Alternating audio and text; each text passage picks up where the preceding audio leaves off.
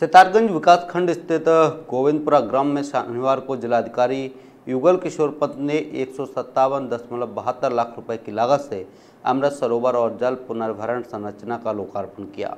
इस अवसर पर बड़ी संख्या में ग्रामवासी, ग्राम प्रधान अमरजीत कौर, तालाब जीर्णोद्धार और जल पुनर्भरण की संरचनाओं के लिए सहयोगी कंपनी के सहयोगी उपस्थित रहे।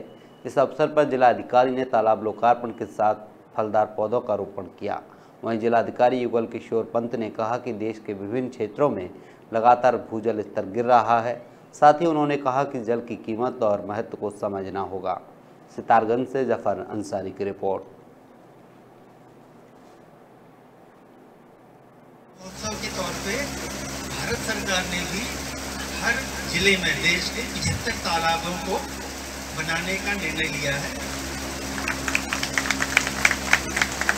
आपने ये काम दो साल पहले शुरू कर दिया था हमसे। और ये मेरे ख्याल से हमारे जनपद का पहला तालाब है जो उस कड़ी के अंतर्गत निर्मित हुआ है। और इसको हम उसी अमृत महोत्सव सरोवर के तौर पर भी अडॉप्ट कर लेंगे।